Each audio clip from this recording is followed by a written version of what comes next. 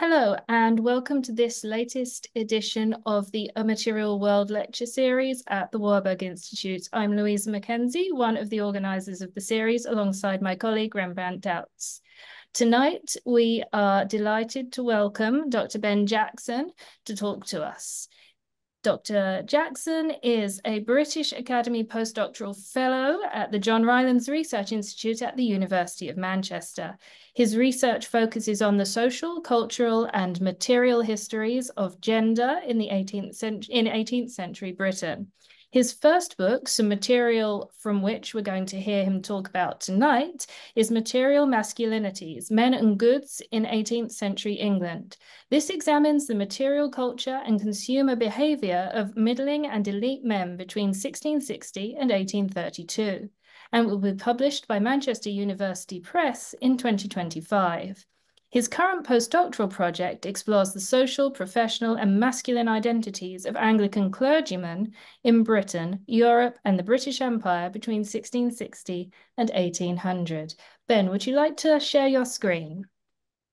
Yes, thank you, Louisa. Um, hopefully, That's perfect. perfect, brilliant. Okay, um, I shall get started. Um, firstly, I would like to thank and Rembrandt for inviting me to speak this evening and for everyone giving up their Tuesday afternoons to hear some of my current research. Um, I'm going to speak for about 40 minutes um, with hopefully plenty of time then for Q&A and discussion. So the title of my talk today is Masculine Discernment and 18th Century Accessories, Snuff Boxes, Canes, Toothpick Cases and Pocket Seals. I just want to start off with a quick language warning. At about 25 minutes into this paper, I will use a quote from the Tatler published in 1709 that does contain an ableist slur. Um, the reason why I've kept it in and, and, chosen to use this language is because the word has a very specific meaning around a form of disability in the 18th century that was not problematic then, but is now. Um, I've censored it on the slide. I will not say it, but I just wanted to draw your attention to it before I began. Um, so my paper today um, is, as Louisa said, um, really taken from a chapter of my um, forthcoming monograph. The book examines 18th century men and their possessions, and it thinks about how material goods were useful and indeed central to men's understanding of themselves, performing gendered social identities and exercising forms of gendered power. In doing so, the book really thinks materially about the gender power relations in 18th century Britain. And another aim of the book is also to centre men and really masculinity as a process within the product innovation narrative of the 18th century's consumer and industrial revolutions. So I shall begin properly. The 18th century consumer was faced with an unprecedented and dazzling array of new, luxurious, and innovatively manufactured products. In the consumer revolution's nascent marketplace of print advertising and the English abolition of sumptuary laws, exclusive luxuries quickly became accessible necessities. This consumer culture intensely debated standards of beauty and material discernment with concerns surrounding the social hierarchy, public morality, military might, and economic efficiency. And these debates congregated around expressions and languages of taste. Small accessories, such as snuff boxes, canes, toothpick cases, and pocket fobs, emerged in the 18th century as fashionable goods and were possessed by people across the social strata. 18th century writers associated these new accessories with women, supposedly, undiscerning and irrational consumer desires, particularly for textiles and for porcelain. Thus, British anxieties surrounding the import of continental effeminacy since the mid 17th century manifested in a succession of character types such as the fop, beau, macaroni, and dandy. And I've got two examples here for you. So first is uh, Colley Cibber as Lord Foppington, a famous uh, uh, character of um, the Restoration stage. And then finally, this, this later in 1818 um, print with, you might be able to make out the two gentlemen at the front in the blue and the yellow are taking a pinch from a, um, a snuff box together. These characters' fashionability transgressed the rational, manly ideal. Likewise, the nabob manifested the anxieties over Asian products and newly acquired imperial wealth flowing into Britain. Prolific writers on luxury characterized men's ownership of baubles and gewgaws, the names were given in the 18th century for these small trinkets, as foolishly foppish. And while such accusations abound in printed materials, they rarely appear in the manuscript archive. In The Spectator in 1711, Addison and Steele's beau were, quote, loaded with such a redundance of excrescences, such as snuff boxes and the like female ornaments.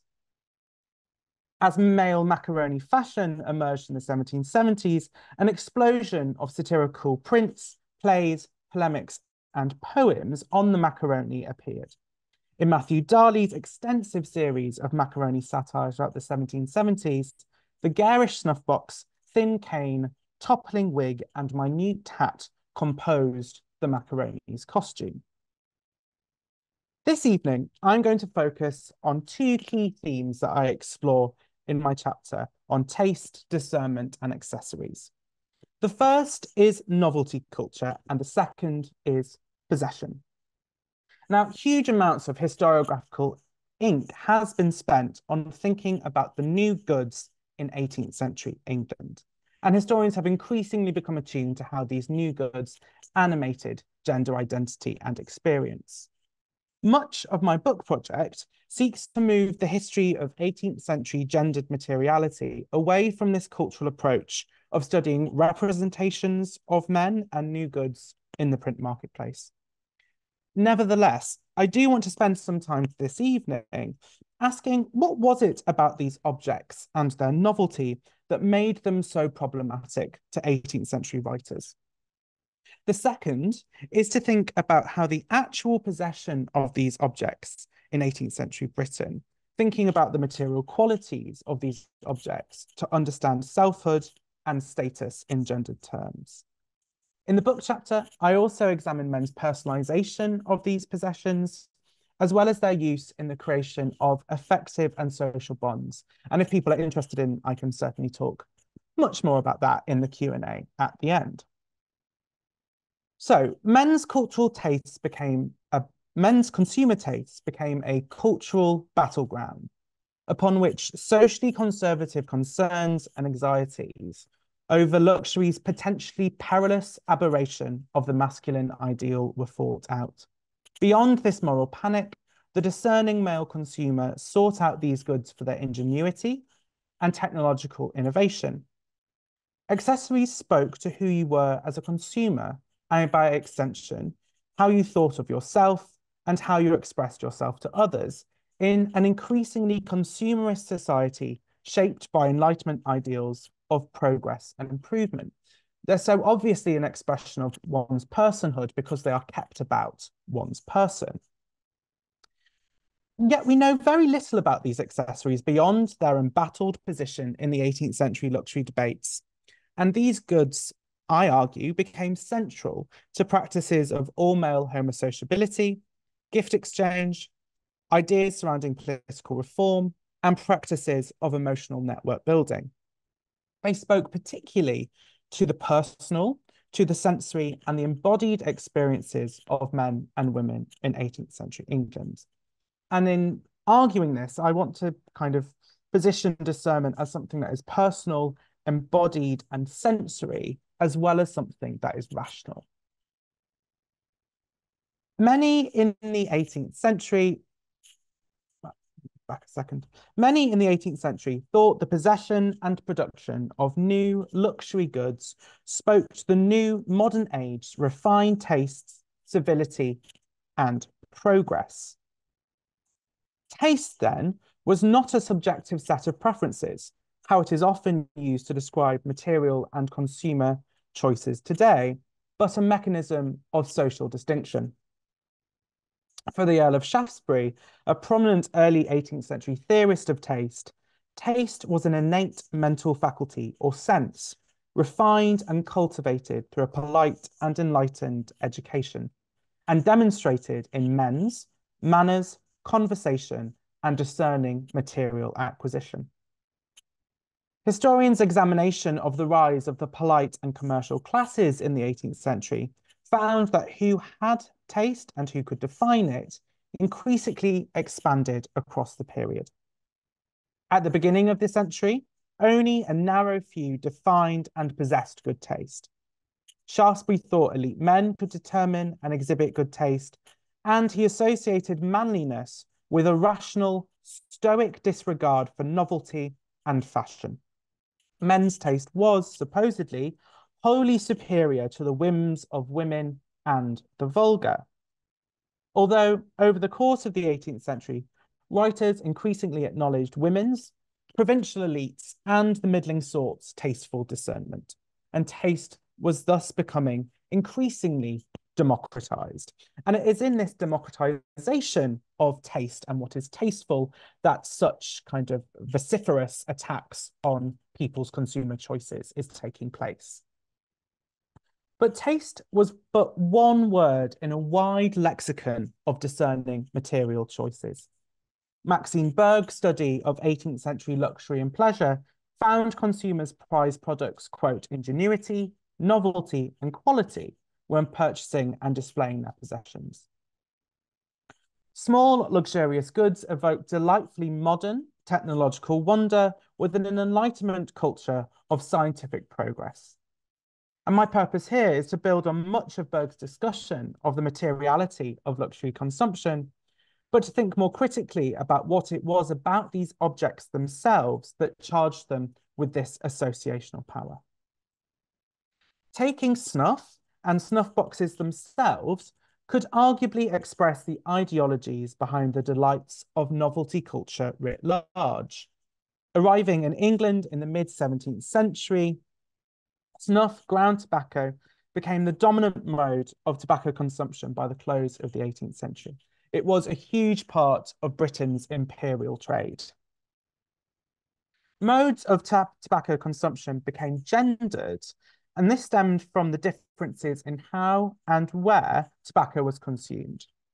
Pipe smoke, as Will Tullett has observed, was associated with the masculine homosocial spaces, such as the coffee house, tavern and the dining room. And we can see quite clearly here that all members of um, Hogarth's um, A Midnight Modern Conversation are holding these long, thin pipes. Whereas in heterosocial environments, like Vauxhall Gardens, the visual and olfactory invasion of masculine tobacco smoke was an affront to polite and refined mixed heterosociability.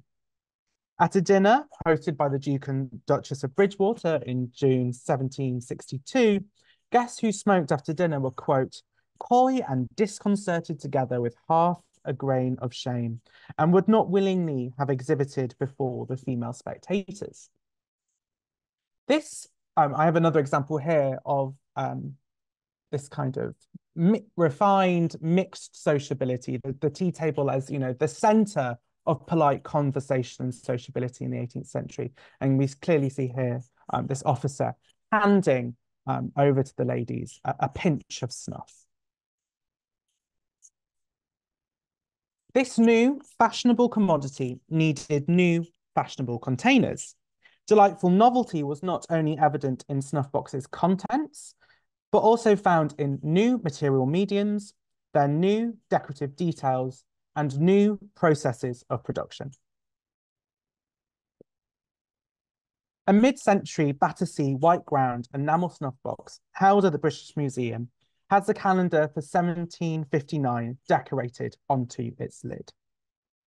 The lid's interior is inscribed with a French love song to music. Novelty is also apparent in the snuff box's material medium.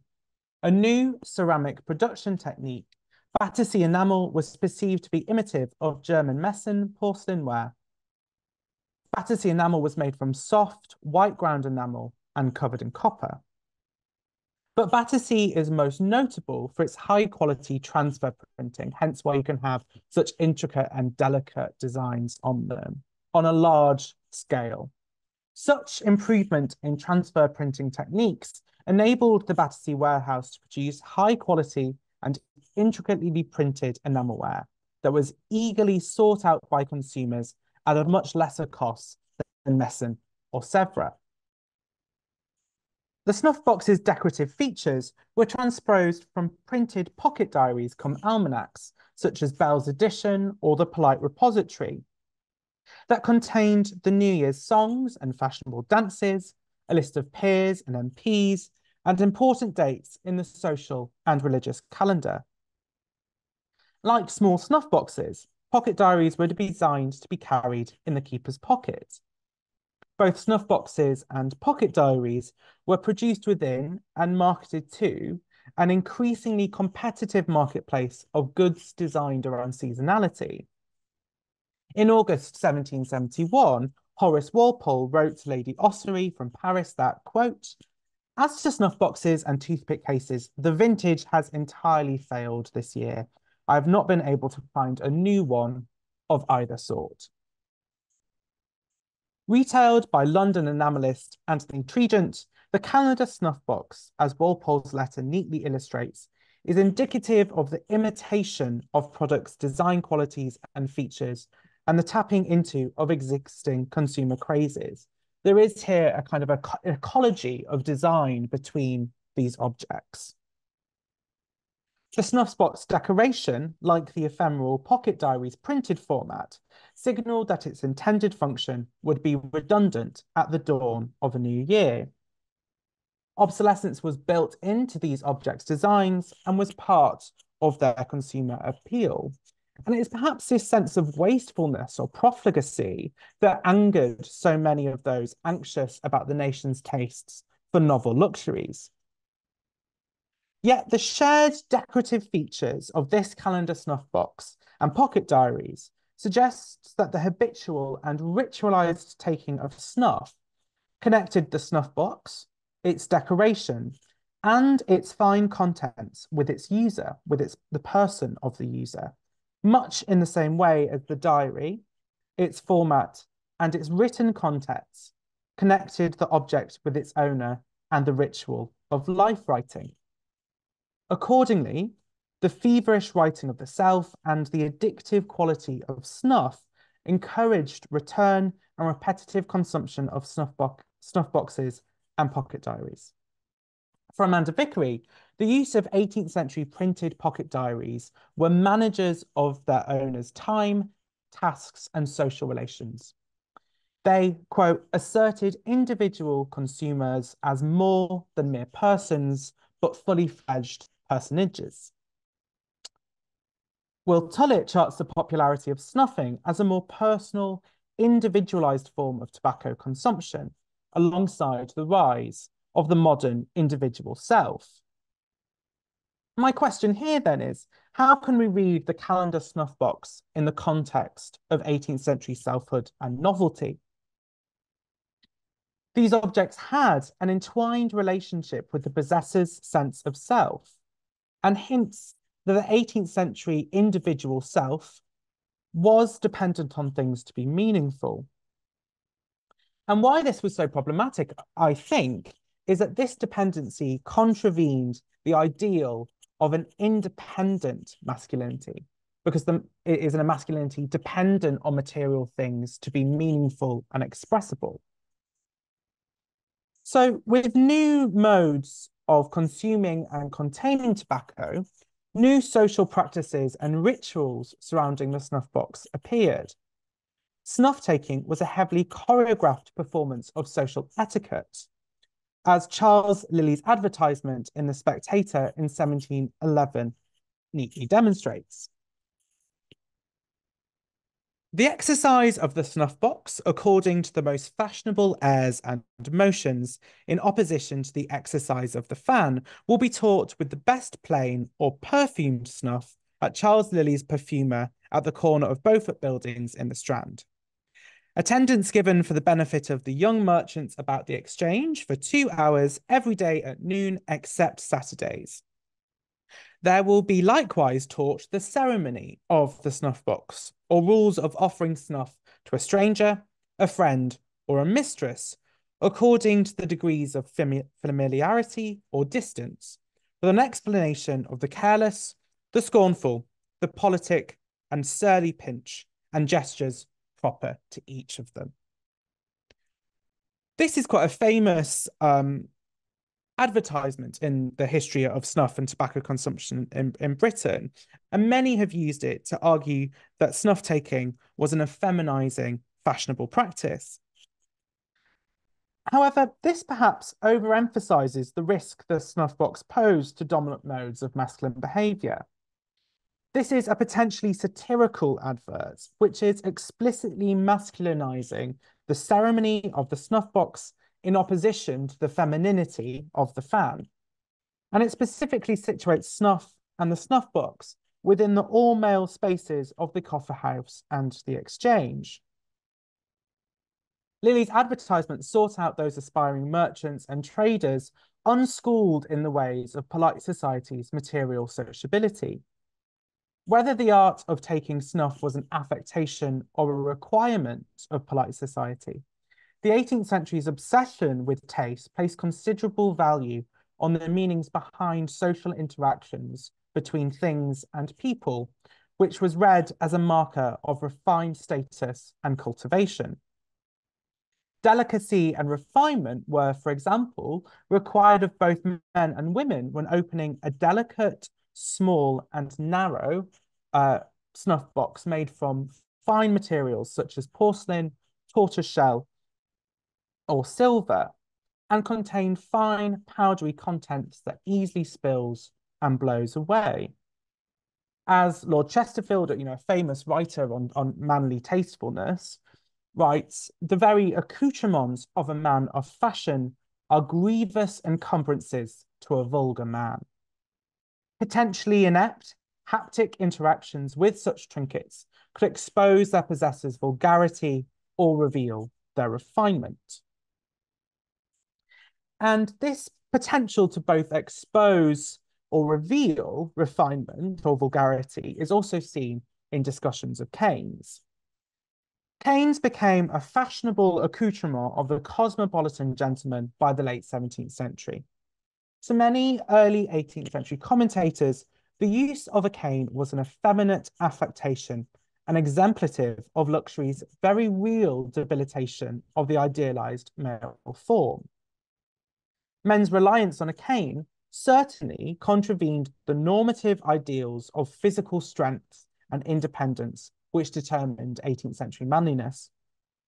Polemicists were particularly critical of the affectation of carrying a cane on a string looped through a waistcoat button rather than using it to aid mobility. In the Tatler in 1709, Steele writes of recent modish male infirmities such as blindness, limping, and lisping.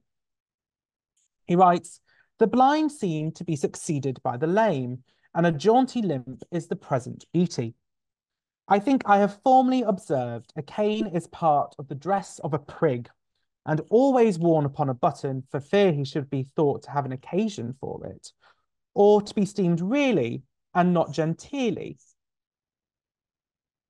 I know no foundation for their behaviour. Without it, it may be it may be supposed that in this warlike age, some think a cane the next honour to a wooden leg. And this attack on male fashion is bound up in complex attitudes towards 18th century disability, particularly mobility impairments such as, quote, lameness. Whilst 18th century commentators were sympathetic to the soldier who was injured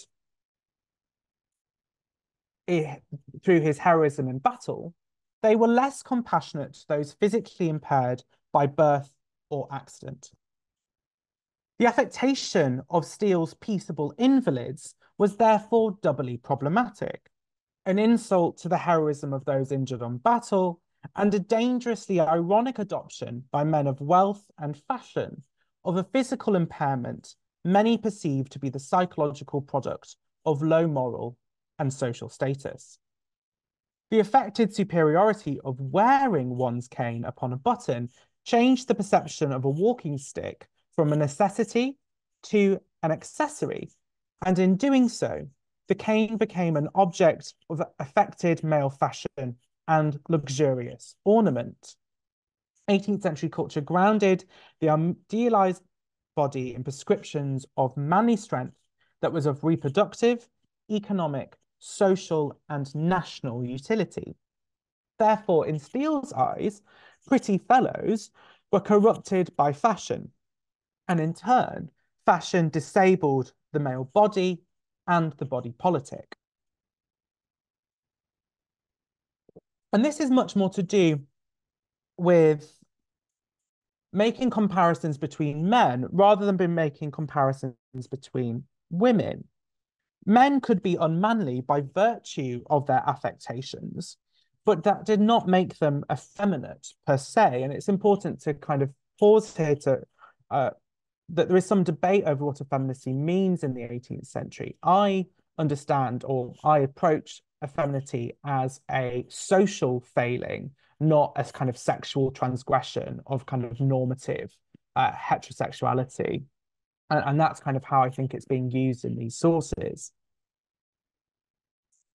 Steele writes in The Spectator that whilst foolish young men use snuff boxes and canes as the usual helps of discourse of other young fellows, there was a new breed of young men who used a piece of ribbon, a broken fan, or an old girdle, which they play with while they talk of the fair person remembered by each respective token. Here, snuff boxes and canes are masculine and are vehicles to either encourage rational, masculine conversation or used as roguish trophies to boast of romantic conquests. Either way, here the expression is about masculinities that do not conform to a gentlemanly, polite ideal. So an expression of that kind of um, effeminacy as a form of social failing. The association between effeminacy and canes continued throughout the 18th century. In the Gentleman's Magazine in 1731, a group of fashionable young men were described as a parcel of spruce powdered foplings, with their hair tucked under a tortoiseshell comb, their sleeves sliced up above their elbows, a gold-headed cane in one hand, an agate box in the other, with a nose full of snuff and a head full of nothing. And this is really to do with the 18th century's obsession with polite conversation and polite conversability being an important characteristic of the cultivated 18th century gentleman. It was, for example, the ultimate display of an elite liberal education based in Latin, Latin and rhetoric. And if fashionable gentlemen's accoutrements were therefore trifling affectations, these objects were antithetical to prescriptions of seemingly easy, unrehearsed, polite conversability. The Gentleman's Magazine's fops, bedecked with snuff boxes and other ornaments, outward and material magnificence could not detract from or mask their inner void. And one thing I want to point out here is that there is an anxiety around the ever expanding accoutrements that can be seen. So in The Spectator, in the Tatler, in the Gentleman's magazines, and so on, it was both the newness and the proliferation of these personal accessories that created this anxiety. Lord Chesterfield, for example, would only provide his son with the money for one handsome snuff box and one handsome sword, and refused to provide with the profusion of a rape. And it's here equally important that he is making a distinction um, around handsomeness. So handsome being something in the 18th century that is either easy to handle or it is um, elegantly dignified. Those are the sorts of words associated with handsome. Adam Smith, in the theory of moral sentiments, was perplexed that lovers of toys would walk about loaded with a multitude of baubles, of which the whole utility is certainly not worth the fatigue of bearing the burden. Good taste, then, for these men was as much about restraint as it was about refinement. Not only could these fine accoutrements not hide men's lack of intelligence, they could work to expose their unpolished vulgarity. Like many of his Whiggish counterparts, Chesterfield was anxious about who these supposed ornaments could expose. He wrote that the vulgar man is at a loss with what to do with his hat when it is not on upon his head. His cane, if unfortunately he wears one, is at perpetual war with every cup of tea or coffee he drinks, destroys them first, and then accompanies them in their fall. The vulgar man's fear of his own sword, much like Steele's peaceable invalids, was a criticism of the effeminizing power of luxuries accessories upon long-standing ideals of male chivalry and martial heroism. Despite the similar criticisms, Chesterfield was more concerned with fashionable accoutrements as an expression of taste, and taste as the product of elite cultivation. What Chesterfield is most anxious about, though, is that this new, ever-growing multitude of accessories created and presented a plethora of opportunities for the polite, gentlemanly mass to slip and reveal the unpolished diamond beneath. The new practices and performances surrounding new goods were themselves a performance of one's refined manners, civility, and good taste. Knowledge of fashions, etiquettes, and behaviours was a socially conservative performance of one's access to and knowledge of the beau monde. The more accoutrements a fashionable man about town wore increased the performances and choreographies of elite male status he had to learn, and more importantly, the chances for social encounters to go awry.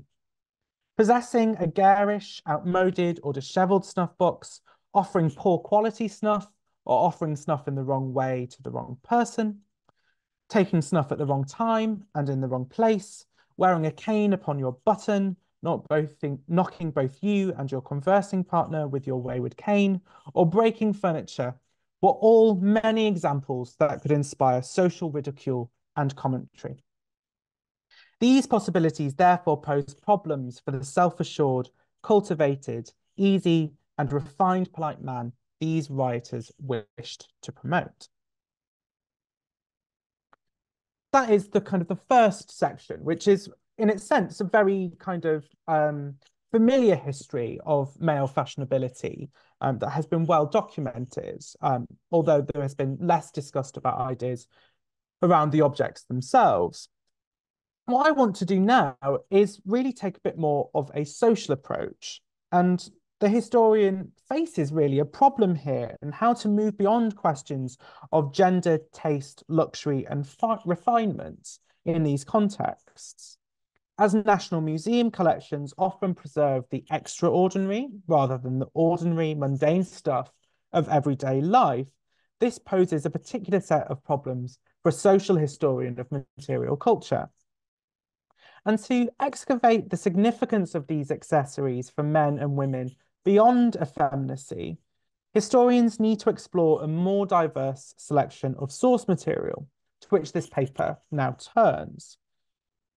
And so I'm going to walk you through um, a set of samples of thefts of snuff boxes, canes, and toothpick cases from the Old Bailey um, between 1680 and 1820.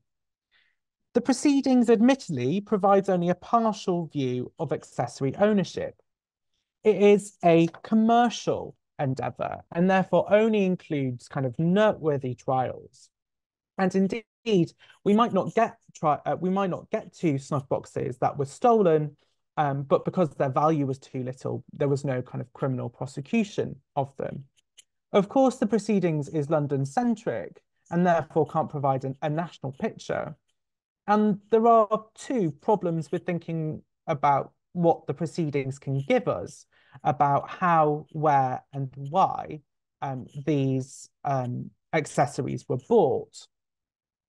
But these uh, published court records are intensely useful, as hopefully I will show. The first is that we're able to demonstrate a, a, large amount of change over time, seeing what sort of patterns are emerging over, in this instance, a 140 year period. Because people had to claim their objects if they were presented in court, they often provided quite detailed description of their goods' kind of material qualities, and indeed sometimes their relationship to them. They have to state a value because that determines the kind of the outcome um, and the punishment um, if they are found, if the um, that thief is found guilty. Uh, and often what emerges in lots of these um, uh, what emerges in lots of these uh, printed court records is discussion about the spaces and places in which thefts are happening. And so, you know, where these people are using it and, and what that means. Um, so I'm going to start with the snuff boxes. So in this 140 year sample, there were 316 snuff boxes allegedly stolen, either from someone's person or from their home or place of work.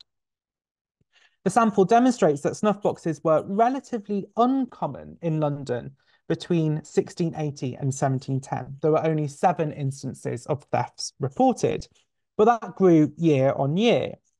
There were nine instances of snuffbox thefts between 1710 and 1720, compared to 45 between 1811 and 1820. The evolution in the material snuff boxes were made from stands as a testament to the innovation in British decorative arts across the long 18th century. Whilst only one known material, brass, was recorded between 1680 and 1690, in the 1780s, 11 different materials were recorded from traditional gold and silver to exotic lapis lazuli and new enamel. The sample I found includes 316 snuff boxes made from 30 different specified materials. There was mother of pearl, tin, paper mache, gold, tortoiseshell, which was very popular, and silver snuff boxes, which were very popular at 68 instances. This really reveals a picture to us of, of London's uh, material life, there is a prevalence of traditional and inexpensive and new and luxurious materials in this sample and suggests men and women's appetite for and receptiveness for new luxury goods. In a sample taken from the proceedings of the same period, uh, 45 women had their snuff box stolen compared to 276 men. Only four had an occupation recorded uh, two were kind of silversmiths or jewelers, and the others were uh, pub keepers. They kept public houses. There was one unmarried woman and four widows. So lots of these cases are being brought by married women. 27 snuff boxes in this sample were made from 13 specified materials. The sample of female victims is therefore quite small to make many concrete comparisons of gendered snuff box ownership, other than two suggestive points. First, a considerably larger number of men had snuff boxes than women stolen. And a particularly gendered difference can explain why this happened. These snuff boxes were often designed to fit inside men's waistcoat pockets, whereas women's pockets are traditionally kept, well, were typically kept between inner and outer garments. So they were much more difficult to pickpocket from. Secondly, in both male and female uh, samples, gold, mother of pearl, tortoiseshell, and silver were the most popular snuffbox material, suggesting little gendering of snuff boxes' material medium or qualities themselves. Whilst historians have avidly debated the gendering of snuff and tobacco consumption, it's also important to remember that possession of a snuffbox does not necessarily mean the owner was a snuffer, and often they contained sweets, letters, and other small things. Uh, none of the cases, it's interesting to note, in the proceedings for men or women mentioned whether the snuff was contained inside, nor indeed its value. It was the snuff box that was of value to them. In this sample of men, there are 48 recorded occupations in 101 trials. These, and I'm calling them occupations, really it's kind of social positional ranking, comprehend the social strata of the 18th century social hierarchy, from the Earl of Mansfield to a farmhand. Unsurprisingly, the largest category was made up of merchants and dealers associated with the tobacco, snuff, or toy trades, and they made up 24% um, of the total occupations listed. Excluding this group, 44 snuff boxes belonged to noblemen, gentlemen, professionals, merchants, and esquires, a broad mixture of men who could be categorized as elite or genteel or respectable. There was a similar level, though, of snuff box ownership between this group of men and those making up the lower middling sorts and what historians have sometimes called mechanics. 38 snuff boxes belong to those who can be grouped under the occupational categories of artisans or labourers, a wide and diverse group ranging from here, from a gilder to a pencil maker, coachman to a farmhand. Snuff box ownership in the sample was widespread across social groups relatively early in the 18th century. By 1720, six of the eight social groups had appeared in the sample. Interestingly, the two groups that were missing were noblemen and gentlemen, indicating that although not widespread in any significant number, ownership of snuff boxes occurred across the social divide early in the 18th century. By 1820, snuff box thefts were appearing in the proceedings across all social groups in greater numbers, and there was a parity between higher and lower social groups. There was 11 in the kind of crudely defined higher social groups and 11 in the lower. Whilst possession of a snuff box did not necessarily mark out social distinction, the social hierarchy was delineated in snuff boxes' material form. Both higher and lower social groups recorded snuffboxes in a variety of material, and there is a noticeable, albeit unsurprising, difference the aristocracy, the gentry, and professional men were much more likely to own a snuff box made from new or expensive materials such as gold, tortoiseshell, or porcelain than artisans and mechanics, whose snuff boxes were made from more traditional and inexpensive materials such as base metals, horn, and leather. Snuff boxes were owned by men and women up and down the social hierarchy, but to preserve material and social distinction, they consumed snuff boxes made from luxurious and new materials to demarcate the social hierarchy. The intricately chased gold snuff box sets the London's upper crust apart from the plebeian snuffer. And that the majority of snuffbox thefts took places in spaces such as brothels or taverns suggests that snuffboxes were used much more in spaces of all male sociability and conviviality of kind of mixed social position. The sample of stolen canes and cane heads from the proceedings is significantly smaller. 93 trials included cane thefts in the proceedings between 1680 and 1820. Of these 93 thefts, 86 were for male victims and five were for women and two had no name recorded. No women had their profession or marital status recorded. And there is really quite difficult to find a kind of chronological um, pattern here. It peaks at unexpected times in the 1720s and 40s, and then again in the 1780s and 90s. It, it's not clear why those peaks occur in my samples. There were 10 different cane head materials recorded in the sample. Gold was the most popular material, with 19 gold heads recorded. The material that canes themselves were made from was never recorded, although this can be attributed to the cost of gold, china, silver, or ivory cane heads compared to a wooden component. Like the preceding snuffbox sample, cane heads were made from a variety of materials that fall into both traditional and inexpensive and new luxurious materials. 16 different occupations occur in the sample. Esquires are the most common victims of theft, followed by three nobles. So there are two baronets, Sir James Brown, Sir John Thomas, and then the Honourable Edward Stratford. These two social groups all had gold cane heads. However, most of these cane heads cost less than a pound and were most were valued between one and five shillings. Cane thefts in the proceedings therefore demonstrates that canes were objects particularly to do with demarcating social rank. Elite men were more likely to own canes and the canes were more likely to be made from precious metals. So again, materiality helping to, to demarcate the social hierarchy. Finally, toothpicks, which were by no means new to the 18th century, but the period did see the emergence of the toothpick case. The rise in personal grooming in a society that prized the body beautiful also meant an increase in Adam, uh, Alun Withey's words in the increase of material bodily ephemera used in the quotidian management of the body. And again, there is a much smaller sample of theft trials for toothpick cases, but it is still quite revealing, taken alongside canes and snuff boxes.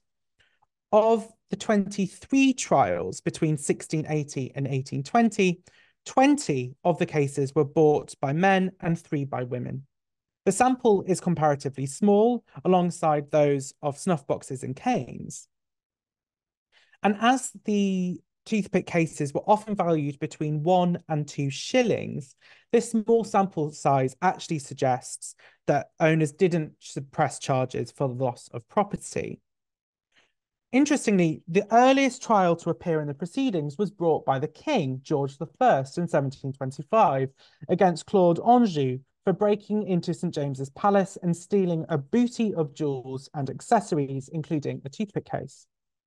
Despite an infrequent presence in the proceedings, toothpick own ownership was widespread even in such a small sample, with a clergyman, an auctioneer, an undertaker, optician, and publican, as well as the king, possessing one. And there was a wide variety of materials recorded as well gold, paper, ivory, silver, and tortoiseshell. Again, suggesting that it's the material qualities of these that is setting distinctions rather than mere ownership. So I'm going to move now into kind of a set of conclusions. So in thinking about masculine selfhood through these small, seemingly superfluous goods, the masculine self emerges as an increasingly reliant on things to be meaningful. Materiality was important in determining the contours of 18th century masculinity. Masculine material selfhood was therefore problematic to social conservatives because it was itself emergent and more widespread than ever before. To understand novelty and novelty culture, we now have to integrate questions and concerns around masculine material self-expression as it fundamentally underpins their concerns with luxury. That novelty and the new is hard to square with the pretense of masculinity as something eternal and increasingly biologically determined in the period. I think there is something really to do with a problem of kind of masculinity being grounded in the body as being grounded in something much more eternal and long lasting. And then this, this new and emergent goods that is adorning these men. While historians of masculinity now often approach it as an ongoing, historically contingent process of identity formation rather than a fixed relational category, the writers studied here promoted a masculinity that was in fix and in crisis from material deviance. Thinking about material selfhood through and with these objects, we can think of a gendered material selfhood as something that was also embodied, haptic, and sensory. And therefore, there was a huge capacity for the display of rational discernment to go wrong. Indeed, the languages and practices of tasteful consumption emerges precisely because the possession or ownership of once luxury goods was not enough to denote refinement in a period of increased consumption, as the preceding data shows. What material your accessory was made from and how you used it was a key indicator of rank, status, and prestige. Thank you. Great. Thank you so much, Ben, for that fascinating paper and um, for sharing your research with us. Um, we will now have um, a period of time for audience questions. Um, so if you'd like to ask a question, you can do that in one of two ways. You can navigate down to the bar at the bottom of your Zoom screen where it says reactions and then choose raise hand and then I will invite you to speak. Or um, if you are unable to do that for whatever reason, you can put your question in the chat and I will be happy to read that out for Ben to answer. So while people are finding their way to asking some questions, I do have a couple, and I'm sure Rembrandt might have some too. So my first question for you, Ben, would be, and it's a very specific, it's about a very specific object, the snuff box with the calendar mm. from the British Museum, which was fascinating. So the fact that it was the calendar for a specific year, does this suggest that they would re be replaced yearly, much like a pocket diary? So sort of adding another layer to the idea of novelty, that it was by its very nature um, something that you could indeed replace continually. Yeah, um, it, that was the whole point of them. It, it, I think my guess is that they are seeing that this is happening with pocket diaries and they are thinking about what how they could imitate how kind of manufacturers and retailers could replicate that same kind of boom in the purchasing of, of pocket diaries. Um, there is there is limited material evidence so the that one from the british museum is kind of one of the standouts. There's only a couple that are kind of earlier in the 1750s that survived. So maybe it didn't really take off. Um, but there is certainly a sense that it is there for that specific year and then will be gone. Mm. Are there any um, adverts for them, either sort of uh, written advertisements or any kind of? We, I have um, Tregent's uh, trade card where he says that he um, he is he retails. He doesn't specifically say calendar snuff boxes, uh, but no, there isn't any kind of not that I've been able to find any kind of yeah. advertisements um, readily available for these specifically. Fascinating, thank you, Rembrandt. Yes, well, thank you very much. That was uh, indeed an exceedingly fascinating paper. Um, and uh, I certainly uh, wouldn't mind having some of these accessories myself, to be quite honest uh, whether that is masculine or not. Um, one question I had was uh, regarding that. I think that was the first Steele advertisement that you showed about the snuff box.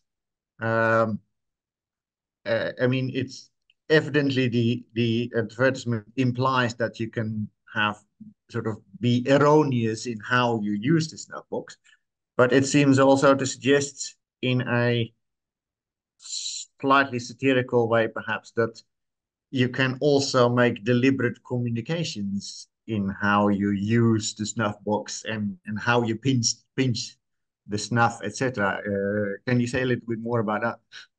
Um, thank you. It, it's a great. It, it, probably. I I feel the more I read it, and even reading it out at kind of papers, I I really feel it is satirical, um, more than anything else. Although Charles Lilly is a, a, famous perfumer of the 18th century uh, is kind of one of the, the most kind of influential.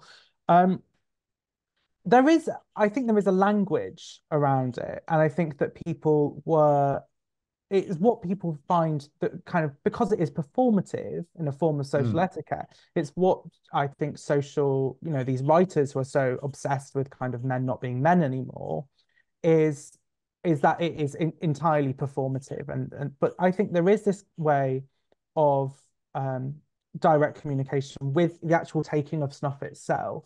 And, and will tullett talks a little bit about this in his book about smell in the 18th century.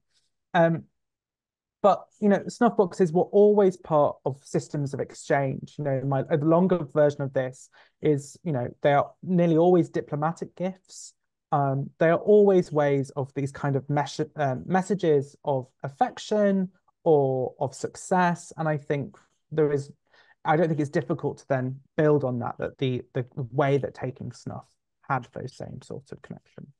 Well, I, I, thought in that context, indeed, the, the, the, comparison that is made in the text with the, the female fan is particularly interesting because that's, of course, traditionally seen as a as a tool of communication, mm. basically, mm apart mm. from a, a, tool of uh, fanning. Uh, uh, and uh, yeah, one one wonders indeed, especially since you say said that uh, the the the consumption of snuff was also specific to mixed social uh, environments. Mm. So, uh, what sort of messages could could indeed be conveyed subtly? Well, there's they say it's the, the surly and the scornful were, were two of the ones that kind of stand out. So the, you know the way of the way of the way of taking um too much, the way of rejecting, uh, you know, maybe one of the specific ones that could really be is actually the refusal of the offer of snuff itself. The refusal. Yeah, you know, could be that there is there's something to do um also with the perfuming of the snuff itself so mm. what you off what kind of snuff you offer to people there's snuff kind of that is meant to be invigorating there is snuff that um is meant to be kind of like a um aphrodisiac um which you might be able to use in those sorts of courtship situations you know they're retailed as such um different types of snuff um but as well just simply the way of taking it could could speak to. I'm not sure about what specific ones, but I think here is their idea that there potentially could be motions of the hand, haptic motions that are being read as yeah. surly or scornful um, or political.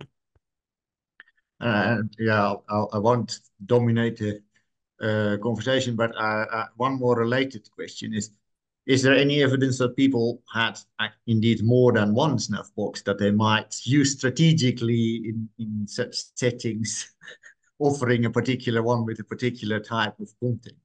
Uh, yes. So I've talked today mostly about small ones, um, you know, mm -hmm. these mm-hmm. kind of handheld ones, but there are lots of snuff boxes that were kept in dining rooms that were brought onto the table after right. dinner with port.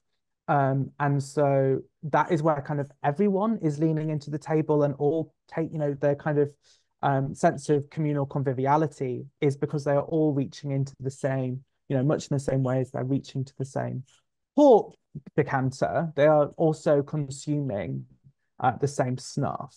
Um, there are certainly people that own several, whether that is because they are collecting them uh, you know, and lots of them are simply just dis displayed. You know, they are they're curios. Yeah. They are not they are not um, simply always used. I know someone.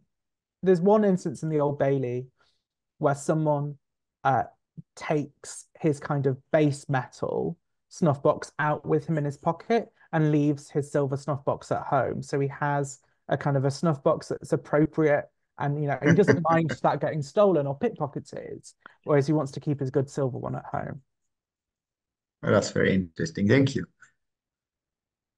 Um, so this is probably, I'm sure this is a very difficult one um, to answer, but there seems to be a great tension um, between the satirical writings or the potentially satirical writings about these objects and the consumption of the objects themselves. So do we have any other kinds of records or anything which can kind of give an idea of what the public sentiment was about the objects? Was the satire um, a particular sort of limited view of them? Because obviously people were still happily consuming these objects, uh, regardless of um, supposedly quote unquote potentially negative views of them?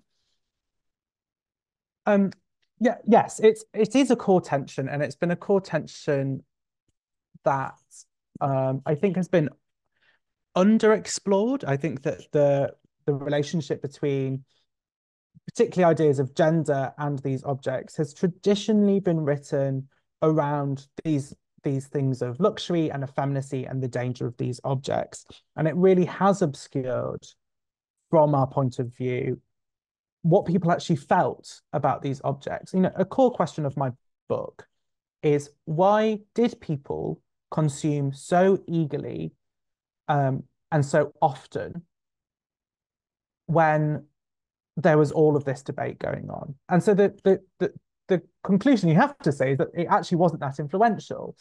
You know, these are writers who are writing for very limited. They have the Spectator and Tatler has has wide publications, but they're speaking to a limited uh, number of politically leaning people. Uh, there is something to be said that they constantly talk about them. You know, I have so many examples from these publications here, which it must be commercially viable that they are making those sorts of um that they're making those sorts of criticisms.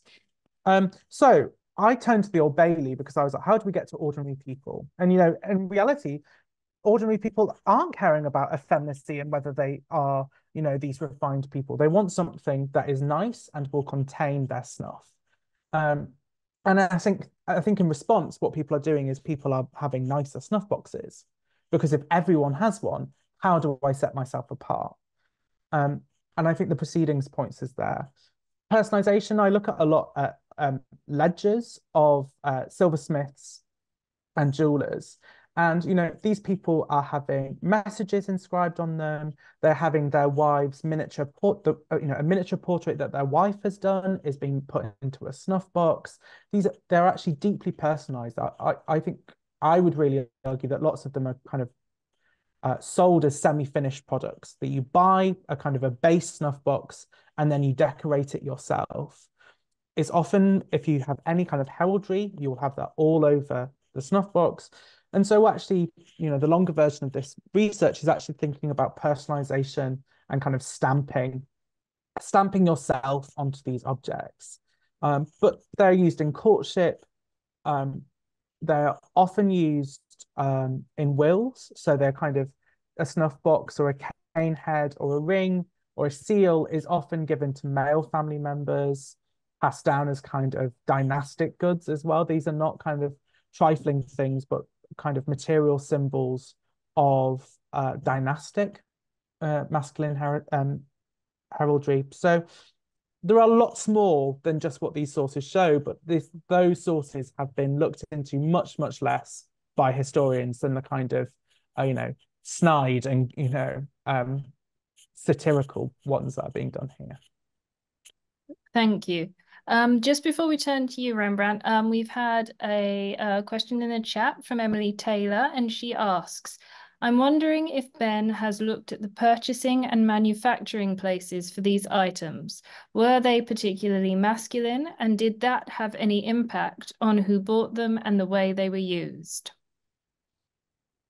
Um, it's a great question. Um, they are, lots of them are produced by men. Um, so Battersea enamel is a really good example. So this is built, this is developed by a man called Theodore Janssen um, at Battersea House on, on the Thames. Um, and he basically is is this this part of this kind of innovation, this technological advancements that he's making in enamelware. Um, he is also part of the Anti-Gallican Society, which is a society founded in the 1740s, which is trying to stop the import of French and German porcelain into Britain, hence anti-Gallican. And what he's doing is trying to promote his own um, enamelware. And lots of it is very plain. Uh, it's creamware, so it's got very little kind of color to it. It's this plain, somber uh, material culture. And he's making lots of men's club societies, um, drinking uh, their drinking vessels, uh, plates, their snuff boxes for when they get together in taverns and in private dining rooms. And so actually what he is purposefully doing himself is to trying to promote or to not to promote, but actually to reframe these objects as not these kind of foreign, effeminate, uh, overly delicate things, but kind of stoic and British and manly and solid. And so actually he is one of these people churning out and trying to reframe and create a new consumer desire for objects that are, in his ideas, more manly. So actually, yeah, the places of production and manufacturing are really important questions of gendering. Um, and and it's very obvious from the source material that I've looked around the Anti-Gallican Society that that is it's purposeful. It's their intention uh, to do it in that way. I hope that has answered has answered your question concerning production. Great, thank you. Uh, Rembrandt. Uh, yeah, another question I had is, um, I mean, in earlier periods that I'm more familiar with in the Renaissance, um, critique of novelty in fashion is often correlated with uh, religious sentiments. Uh, in in later periods that we know of from our, well closer to our own time, there is often a correlation with with political uh, opinions, uh, with often novelty uh, being co correlated with sort of new or or um, uh, progressive uh, political views uh, and uh, a stance against it with conservatism is is the, either of these factors play a role in with these particular items in the 18th century? Um, yes, is is the short answer. Um, funny enough, that there is some there is some religious discussion, I think, here as well. Um, uh, there is one of the biggest, you know, now starting a project on the on, on the clergyman. There is a huge critique of clergymen smoking and consuming and snuffing tobacco and, and having this, and they're apparently they're kind of renowned for being uh, snuffers, is is the word. And you know, there's this big problem that people face about the kind of you know uh, the the supposed model that a clergyman is supposed to present to his parish of uh, Christian manly virtue, and he is doing, you know, he is engaging in intoxicants, many feel. Um, and so there is some religious dynamic about what's going on here, not just simply kind of public morality or politics, but actually about the kind of the role um, of religion in it. And, you know, a, a dist, you know, lots of um, Methodists and so on don't engage in cultures of intoxication of which some of these objects that I'm talking about are. Um, and so there is definitely political discussions, uh, but it's two-handed. So lots of these debates on luxury are about political failures and trying to find explanations mm. what those political failures are. And they conclude that men care more about their appearance than they do about winning wars or managing banks properly or governing the country. Um, and I think, on the other hand, that these are really useful tools in diplomacy. They are often, as I said, diplomatic gifts. They're usually forms of um, kind of uh, soft power, is we know a way of describing them. Mm. So they are key parts of political culture. There's some really good work. I can't. Uh, Kerry Love, who's a, who's just finished her PhD at Northampton, has written about uh, political material culture in the 18th century. You know, there's a huge way that these objects are, are actually themselves embroiled in the practices of political culture in the 18th century as well.